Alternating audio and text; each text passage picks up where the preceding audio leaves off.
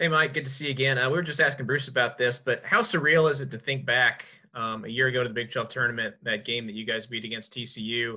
It's kind of the moment everything changed with COVID and whatnot. What What are your memories? What stands out to you about that kind of bizarre, bizarre night in KC?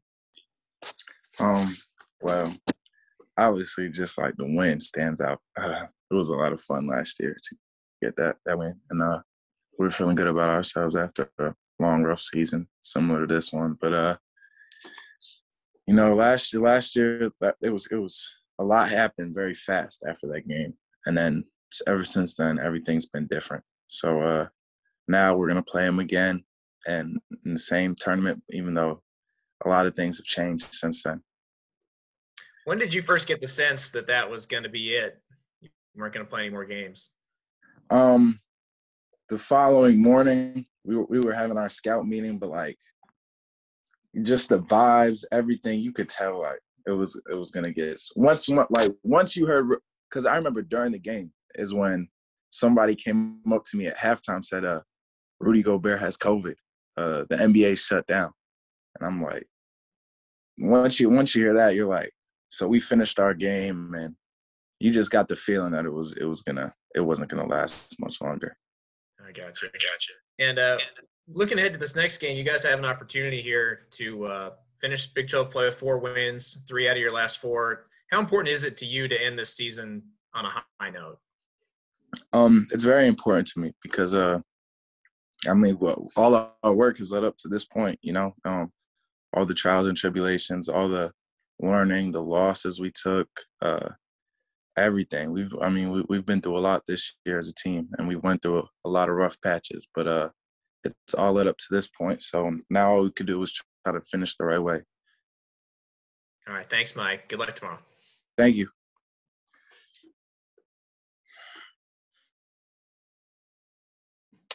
Uh, next question uh, for Luke. Hey, Mike. Uh, being on a team filled with underclassmen, uh, what, how has your approach been to leading the team and helping the younger players throughout the tough season?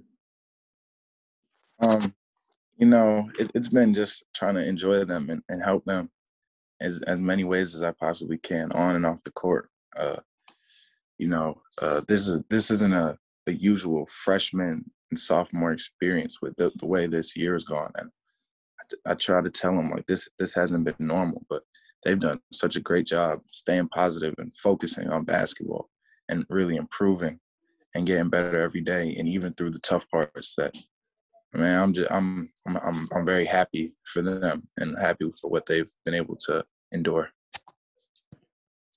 And uh, what have you enjoyed the most about being the the veteran guy filled with the team of all the young players? Um, what have I enjoyed the most? Uh, I, it's it. I guess it doesn't really come down to me being older, just me being a part of it. And um, we've like we've really got a lot of special special young players on this team that uh that they're growing growing into great basketball players that they could be. Um, honestly, it's just it's just fun. It's fun to watch and fun to be a part of because uh, like I said, these dudes like I really, I really like, like, really love this group because they they work hard. They work very hard, and they want to get better. Thank you, Mike. Good luck the rest of the year. Thank you. Uh, next question to Tim Fitzgerald. Hey, Mike. Um, you've won two of your last three, and you've got games here. The next two games against teams that you have beaten. Uh, how important is this to kind of finish out strong here and and get through, uh, kind of get over the hump with everything that's gone wrong so far this year.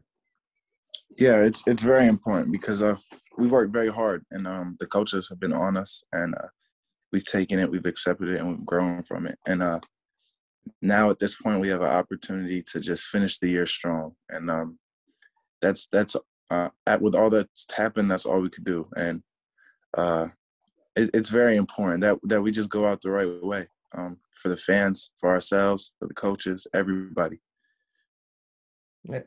And what's it say about Nigel that uh, he has to sit out another game due to a health issue and you guys lose, but you just seem to be so much more functional with him, and he's only a freshman point guard. It's pretty amazing, isn't it? Yeah, I mean, it's it's no doubt that he's especially on talent um, with a bunch of ability. Uh, I mean, he's one probably the best shot maker I've ever played with. Just all sim- pure skill, pure shooting. Um, no offense to anybody else, but uh, he's just he's grow he's growing, and um, he's somebody that like you just like he doesn't get tired. He doesn't run out of energy. He can come every day to get better, work hard, and um, it's like you'd be like like being around him. You're like, man, you, you would think he would get tired, but nah, he just come, he comes every day to get better and enjoys the game. Always has a smile on his face, uh, ready to ready to play, ready to work. That took me right into my next question because of what's going on, and we only interact with you via these kind of weird situations on Zoom. We don't get to see the little things at the end or start a practice. What's Nigel Pack like, kind of off the court as a dude? Uh, he he he. Um, so it's like he he seems quiet at times, but he's really he's a, he's a little goofball. Uh, he likes he likes to play around. He likes to, uh, you know, he likes he's got a, a bunch of nice shoes. Uh, he has a nice car. He likes to drive, and and uh, he's he's he's all into cars. So, uh, but yeah, he's a he's a he's a really nice kid. He um, yeah, that's all. There's a lot you could say about him. Thanks, Mike. I appreciate it. Good luck. Thank you. Uh, next question to Jackson Snyder. Hey, Mike. Uh, just going back to last week against OU, you know, we didn't really know if that was going to be your last home game or not, and and you go out on a big note, you know, maybe thinking that was your last game at Bramlage, but now you get one more. Um, what's what's what was it like for you to just get that win, and then how uh, big would it be to just go out with a win here tomorrow as well? Yeah, it was. uh Yeah, that it was. It was. It was great. It was. It was special getting that win, and um, it felt good. It felt really good um for everybody. It just it brought joy to a bunch of us, to fans, people that like hadn't felt that way in a while. So uh now it's just trying to continue that. And uh, even though we're coming off a loss, we're trying to get back in the right direction at the right time. So uh, it's very important to get this this win tomorrow.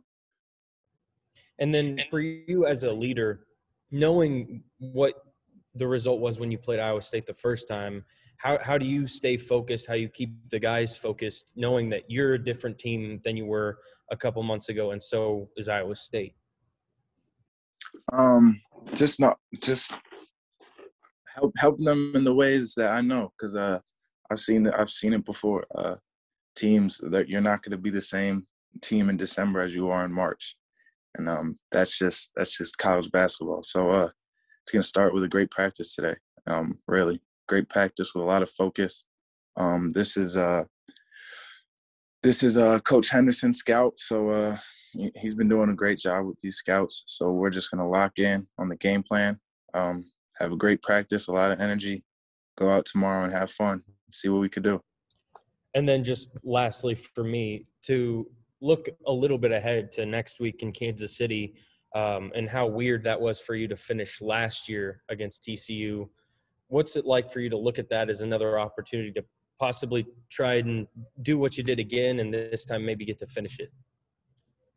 Uh, yeah, that that is. Uh, it's gonna be similar to last year for the run that it take, but uh, man, just looking forward to it. Uh, it's gonna be a lot. It's gonna be a lot of fun. Uh, it's always fun going down to Kansas City, even though this year will be different without uh, uh, with the atmosphere and whatnot. It's gonna be a lot of fun, regardless, and uh, can't wait. First, we got got to handle this business tomorrow. All right, Mike. Thanks a lot. Thank you.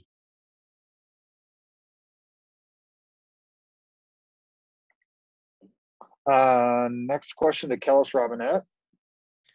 Hey, Mike, I had one more for you. How do you see yourself, um, you know, evaluating the whole whether to come back to K State or move on to do something else with your career after this year's over? How how are you going to handle that decision? To be honest, I, like I don't I don't even know yet. It's uh I, just I, like I, I, I like I can't like I can't explain it because I just don't know, and that's just how I truly feel. Um, it's it's been a long four years that I've enjoyed. It's been a journey.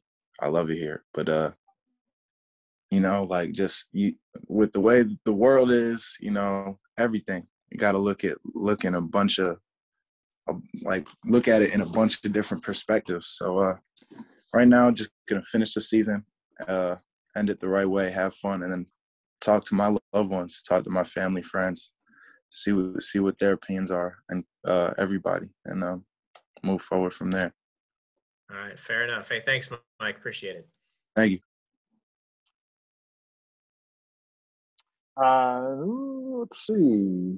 Uh, Tim, did you have another question? I'm sorry. It was. Oh, uh, next question to Tim Fitzgerald. Sorry. No, I'm ahead, good. Tim. I'm good. Oh, okay. Sorry. I got all these, uh, my little hands going up here. So lower the hands. Any other, any other questions for Mike before we let him go? Tim, did you, looks like you raised your hand again, so. Okay, uh, Luke, you have another question? Uh, Mike, uh, in what ways do you feel you and the team have improved throughout the most throughout this this season so far? Um, defense, I'd say. Well, first we we've really grown like our togetherness, sort of our gelling on offense and, and especially defense. Uh, having each other's backs, doing everything as a team the right way. It's not make not making about one person. Um, we've really started to gel in that aspect, and um, on uh, but really on, on defense, we, we we listen, we listen because uh, you know the coaches they know what they're talking about. Um, we've had some of the best defenses in the country at this school under this coaching staff. Um, I've been a part of it, and uh, they're they're really knowledgeable when it comes to uh, defense, defensive schemes, and um, we've taken we've taken what they've said and um, we've accepted it. We've listened to the truth and we've learned from it, and um, that's that's helped us get better. Thanks, Mike. Thank you. Sure. Next question to Michael Goins. Yeah, Mike, is the complexity of the motion offense something that's that's fairly difficult for a young guy, a freshman to learn?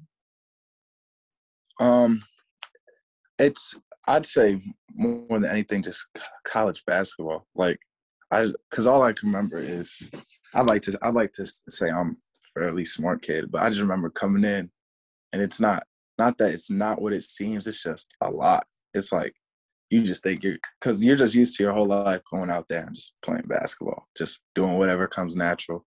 Some of us in high school don't play as that much defense, even though many of us come in as special athletes. We don't play much defense coming in, and um, it took a lot of learning from uh, many people and uh, concepts that are just new new to uh, freshmen. To and now you got to process them on a basketball court over like during the as the game is so fast, you got to continually process these uh, these uh, little things that you're you're being taught. So uh, over the course of time, it gets it gets a lot easier. But uh, at first, it just seems like a lot to many of them.